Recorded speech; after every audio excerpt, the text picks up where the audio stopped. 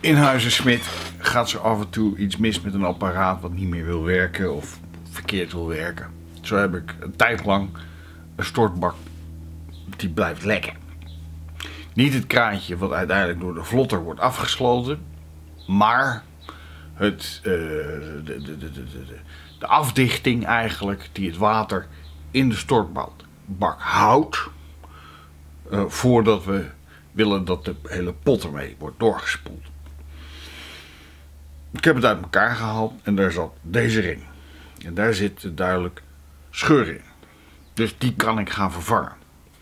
Maar er is nog één ding wat ik nog zou kunnen proberen als ik deze ring niet vind. Iedereen kent die stopjes. Die vind je overal in, in grootsteentjes en douchen en badkuipen. Op een gegeven moment verdrogen die. Zo heet dat dan. En dan sluiten ze ook niet meer af, omdat ze dus gekrompen zijn. Daar is iets aan te doen vanuit scheikundig perspectief. Kijk, dit is in feite net als met andere moderne materiaal. Dit is een rubber of een kunststof. Ergens ertussenin. Uh, kan allemaal. Dan worden die, die materialen, die zijn, vaak worden ze verklaard uh, waterbestendig of juist oliebestendig. Of kan niet tegen olie. Of dat soort dingen. En vooral olie en water, daar gaat het hier even om.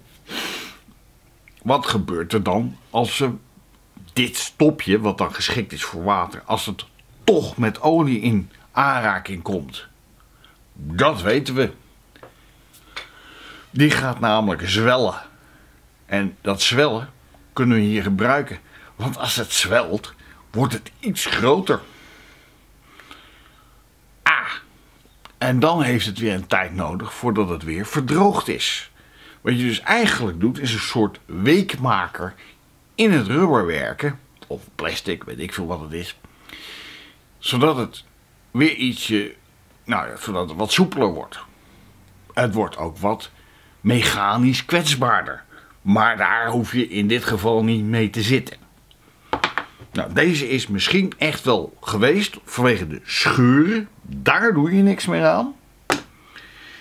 En het kan best zijn dat als je hier dus veel olie in laat trekken, dat hij uiteindelijk ook gaat scheuren.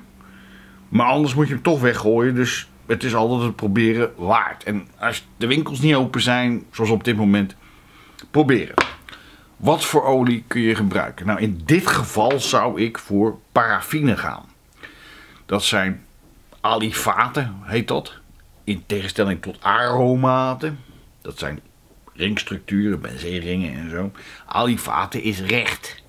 Dus, eh, en wat ook in die categorie valt, maar wat dunner is, is wasbenzine. Daar zit in principe ook geen aromaten in. Heb je te maken met tinner, dan zitten daar weer wel aromaten in. En die, die, die, die mengen ook niet helemaal.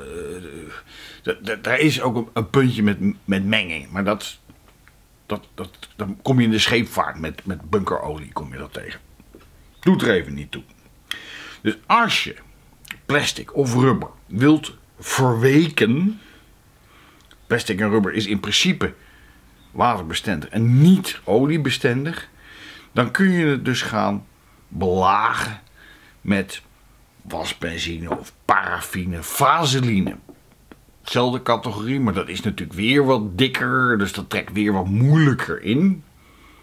Kijk, als ik dit stopje met wasbenzine ga behandelen, ja, dan zwelt die op. Misschien verder dan ik zou willen. Maar het vervliegt ook weer, zo, vervliegt ook weer vlot. En daarom kan je dus beter paraffine gebruiken.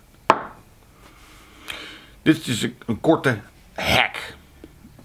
En dat was het. Meer wil ik er niet over zeggen. Doei.